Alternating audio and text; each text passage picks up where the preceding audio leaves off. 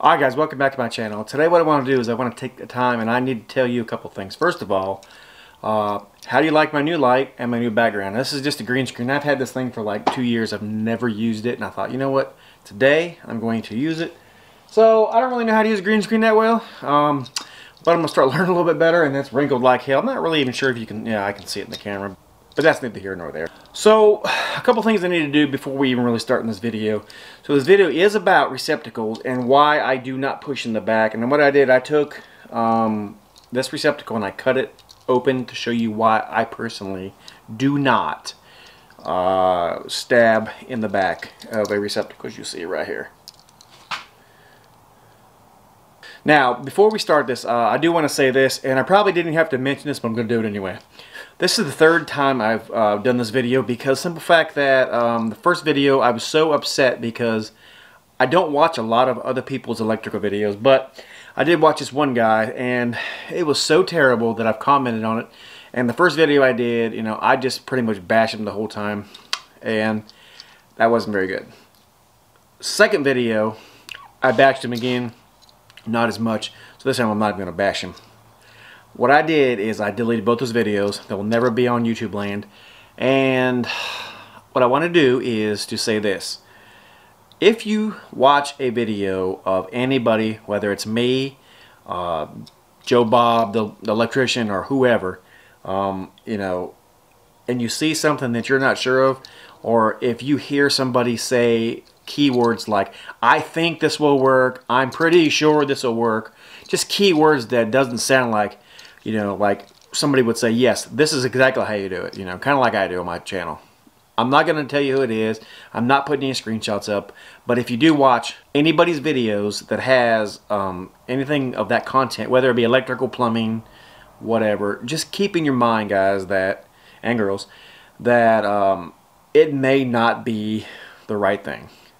Because, you know, there are a lot of people out here on YouTube land um, that do videos like clickbait and just so they can get the views. And that's not fair to people who really need the answers. Uh, I come to YouTube a lot. You know, I've made, um, you know, handicap ramps. I've cut stair treads. I made my own trusses. And I'm not a carpenter, but I watched like probably 30 minutes worth of YouTube videos, and I did all that. And, you know, I've learned to trap. I've learned just different items you know, and I try to get to the reputable people. The keto, when I, when I was doing keto, you know, I, I, I just followed those right people, and, I mean, you know, anyway, let's get on with this video. So the reason why I am doing this video is simple. I had a lot of questions on several of my electrical videos, and um, a lot of them were basically the same thing. Why do I feel like um, actually, I had a lot of different questions, but the one that really stands out in my mind and had a lot of discussion with is why do I not put a wire in the back of these receptacles when you know they sell them where you can do that? Uh, I will tell you again right here that I do not do it for the simple fact that uh, it does loosen over time. I've seen it happen numerous times. When something electrical is plugged in, okay, it is continually heating up cooling down. It's a vicious cycle, just up and down, up and down, especially if you have like a little toe heater, curling iron, hair dryer, whatever. Something that really pulls, you know, a, a crock pot, you know, whatever. Whatever it, whatever it is that you have that pulls a lot. I'm not talking about a little teeny weeny can opener. I'm talking about something that pulls a lot, you know, and it just sits there and constantly heats up, cools down, contracts, expands, so on and so forth, okay? Uh, and, you know, the metal eventually wears down. That's just nature of the beast. Anything man-made is subject to failure, and I am a firm believer, still yet, of that, okay? And what I did is I cut this receptacle apart, and I'm going to show you uh, why I feel that you shouldn't do that. I don't care if that's the way you want to wire your house. Hey, if that makes you happy and gets you in and out, you know, so be it. But there, to me, there is a right way and there's a wrong way. And I'm not saying, you know, let's use this example right here. They're selling cigarettes, okay? A lot of people are smoking. Does it mean that's right? Absolutely not. There's always a drawback to something. And for me, you know, alcohol, drunk driving, so on and so forth. And we can go on and on and on and on and on. There's no difference in a receptacle. Now, like I said, I cut this one in half and I'm going to show you. So as you already do know, uh, you can stab them in the back. If you decide to do that, and you want to get the wire back out for, you know, whatever reason, uh, right in the back here, as you see, let's see if I can, you see right under my fingernail right there? There's a rectangle right there. That is where you would stick your screwdriver in. It's a little one, obviously. And you would push it in and you would pull the wire out if you needed to get the wire back out. This is what it looks like.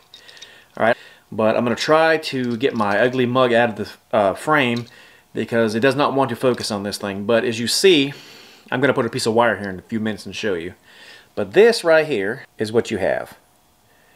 And you can see how it's like bent at a, I don't know, it's not a 45, it's probably like a, I don't know, a 50 degree bend.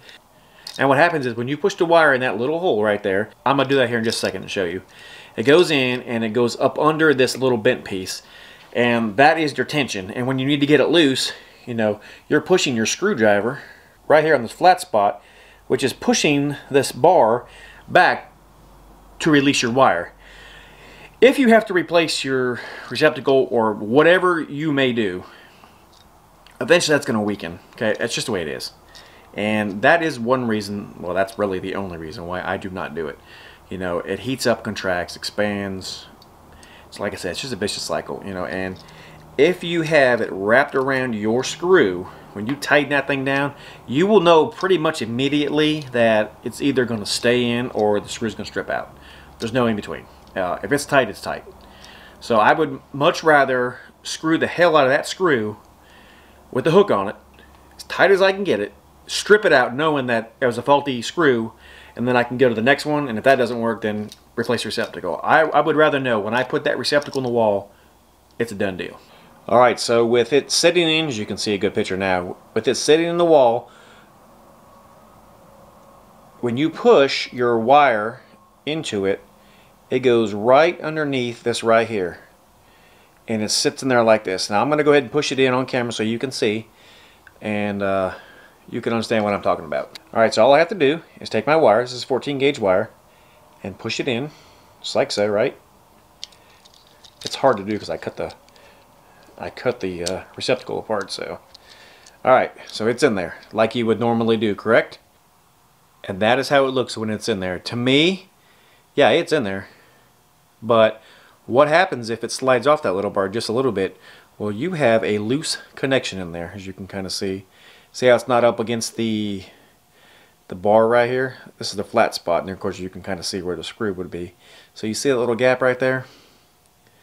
Now, is it under there? It absolutely is. We can see that, plain and simple. Is it tight? It's pretty tight. But to me, it's still not where it should be. I mean, I can hope, only hope that you guys see what I'm talking about now. I mean, you know, I can wiggle it out. You know, just if the receptacle's loose and you're pulling your plugs out of your wall, well, you know, this is going to work loose, and then before you know it, you got a, a loose wire, and then, I mean, guys, it's pretty self-explanatory, okay? This is the reason why I do not do it. Um, I also had some people ask me, well, you know, you can't put 12 under there. Well, I'm going to be honest with you guys. I don't do it. I've seen numerous people push 12 under there. So for those people who say you cannot do it, you definitely can. All you have to do is widen that hole out a little bit. I mean, take your wires, work it in there. It's going to go in there, believe me. I don't care what you say. I've seen it. Um, I'm not trying to cause an argument between any electricians or any homeowners. I'm just letting you know I've seen it under there, and to me, still yet, it's still not a good option. So if you see real close here, under the screw, there's little, I don't know if they're ridges or not. They kind of feel kind of ridgy. You know, when the wire goes on there, it kind of has like friction to it and it stays tight. Guys, I don't care what you do. That is my reasoning behind it all. I will never, even in a temporary situation, ever push them in the back. You know, I've seen people say, well, you know, I have two wires under my screws already. You know, one neutral there, one neutral there, and then they got them stuck in the back, you know, because I, I ran out of room. So I would tell you at that point, make a junction in the box, run one neutral out or hot or whatever to that screw and be done with it. I, that's all I can say, guys. I mean, you know, it is what it is, but that is my reasoning behind it. And then I had a comment about, well, you know, you say, well, GFIs are fine. Well, I'm not cutting my GFI open. but there is a plate inside this GFI. So right in there, see if I can get it framed. Right in there, as you can see, maybe or not, I don't know. But there's a plate. When the screw's all the way out, you can see it when you when I raise it up easy. Anyway, there's a plate in there. And up against that screw is another plate.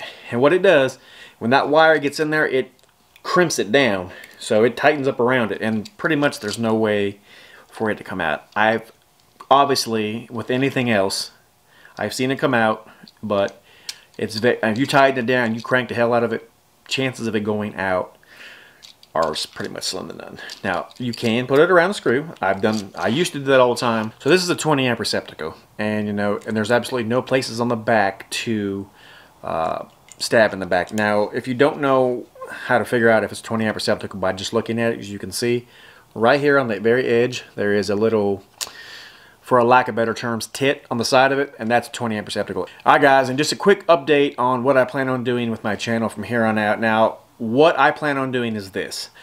Uh, the week before Thanksgiving, uh, I don't do any more videos. Uh, I will not let any more go on my channel. What I usually do uh, during the those months, uh, into November, December, uh, I usually record some videos, actually quite a few of them, and then I'll edit all of them and then I'll start letting them go, you know, like in February, March. I have enough videos right now to last me until February. If I was to stop making them right now and just let them go, I have a lot in the, um, you know, just waiting to go. They're all edited, they're ready to go.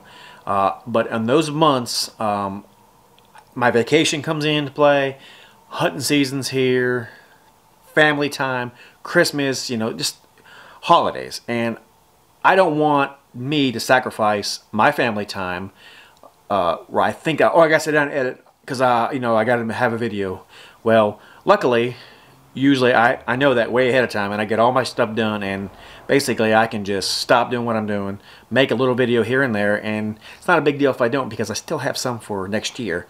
So I will be doing, I said this last year, uh, electrical series, uh, more in depth. I want to do four ways. I want to do uh, light, conduit bending, um, you know, just basic house wiring. I have several projects I need to do in my house. Uh, I'm probably going to add a, a, uh, three gang box, receptacle box. Uh, I need to add a couple double switches.